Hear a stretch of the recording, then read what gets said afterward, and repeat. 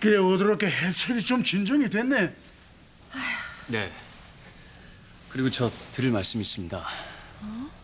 저 아버지 다시 김남준 집으로 돌려보내야겠습니다.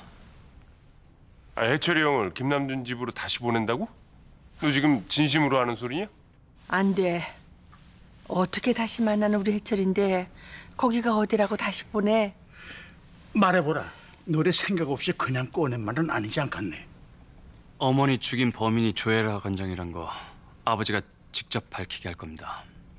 아니, 야, 야 해철이가 왜 저렇게? 얼마 후에 오라 미술관 21주년 기념 전시회가 열립니다. 조 관장이 그곳에 아버지 스토리 그림을 걸려고 하는데 그 주제가 35년 전 오라가의 살인 사건이랍니다. 야, 뭐, 그래? 조혜라 관장은 그 그림을 통해 작은 아버지가 범인이라는 사실을 세상에 알려 우리 집안의 도덕성을 끌어내리려는 거랍니다. 범죄자 집안으로요. 하지만 아버지가 진짜 그릴 스토리화의 결말은 진짜 범인인 조혜라 관장이 될 겁니다. 나는 반대다. 어? 해철이가 그 그림을 그리려면은 그 끔찍했던 사건 다시 떠올려야 할 텐데.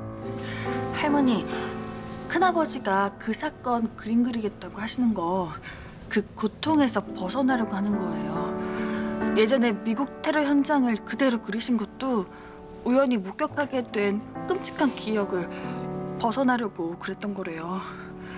그림으로써 그 악몽 떨쳐내버리려고요. 하는 수 없디. 해철이 하고 싶은데 다 하게 내버려 두라. 보내주라.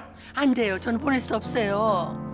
야, 그 집에는 고니 애미가 있자니 기카고 조혜라, 김남준이, 오혜영이 이세 모립에는 우리 오락그룹 무너뜨리는 목적 달성하기 전까지는 절대로 해철이 함부로 대하지 못할 기야. 소야. 조 관장은 꿈에도 모를 겁니다. 우리에게 치명타의 필요고 아버지 시켜 그릴 그림이 결국 자신이 범인임을 세상에 공표하게 되는 꼴일 테니까요. 자기가 판 무덤에 자기 발로 걸어가게 될 겁니다.